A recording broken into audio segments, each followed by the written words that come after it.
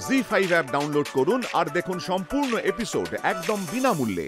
মিতুল কি ভাবছ? বলছি আমরা শেষ অব্দি জিততে পারব তো? যদি ধরে নি যে ওরা যা বলছে সেটা সত্যি এটা তুমি কি বলছো মিতুল? তুমিও দাদাভাইকে অবিশ্বাস করছ? না করলি দিদি আমি নিজেকে অবিশ্বাস করব। তবু ইন্দ্রবাবুকে কোনোদিনও করব না। তাও আমি তর্কের খাতিরে যদি ধরে নিই যে ওরা যা বলছে সেটা সত্যি তাহলেও একটা খটকা আছে। কি খটকা? অপরাধীরা তো অপরাধ করে পালিয়ে যায় তাই না ওর কথা মানে ছোটবেলা থেকে তো আমরা সেটাই জেনে এসেছি। ঠিক। তাহলে কেন একজন অপরাধী তার অপরাধের প্রমাণ মানে ঘুমের ওষুধ অফিসের টেবিলে রেখে যাবে? আর কেনই বা তার অপরাধ অফিসে করবে? আর কি কোনো জায়গা ছিল না? দেখো মিতুল তুমি যা বলছো তা সব সত্যি।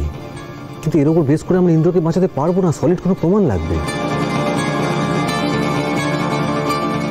অর্কদা ওই ফরেন্সিক না কি রিপোর্ট দিল? তার একখানা কপি নিশ্চয় তোমার কাছেও আছে তাই না? হ্যাঁ। তুমি একটু পড়ো না পড়ে দেখো কি লেখা আছে। ওরা তো ইন্দ্রবাবুর বিরুদ্ধে সবটা সাজাচ্ছে। বড় বড় শিল্পীরাও ছবি আঁকার সময় কখনো কখনো ছোট ছোট ভুল করে থাকে। ওরাও নিশ্চয়ই কোনো ভুল করেছে।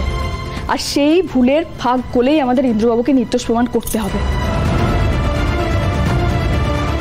অর্কদা, তুমি একটু ভালো করে পড়ো তো কি লেখা আছে, আর আমাকে একটু বুঝিয়ে বলো। দাঁড়াও।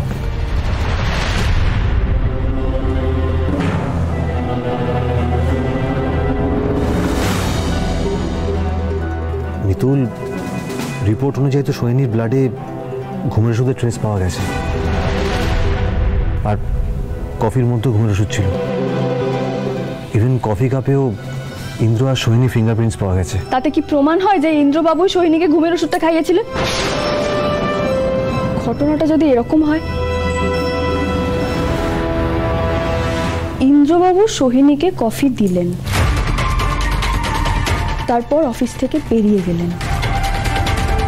আর সেই সময় সোহিনী ইন্দ্রবাবুর কেবিনে যায়। আর নিজেরই কফি কাপে ঘুমের ওষুধ মিশিয়ে নিজে খায়।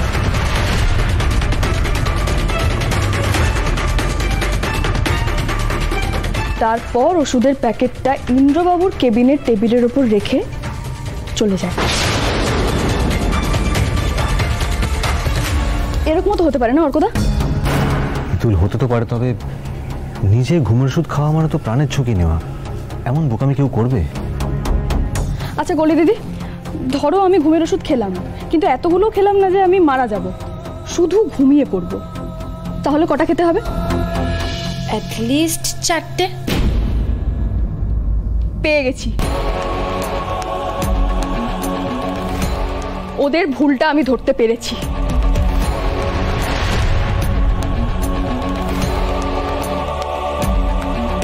মিতুল তুমি তো জিনিয়াস না করলি দিদি। আমি শুধুমাত্র একজন স্ত্রী। জি ফাইভ ডাউনলোড করুন আর সব এপিসোড দেখুন একদম ফ্রি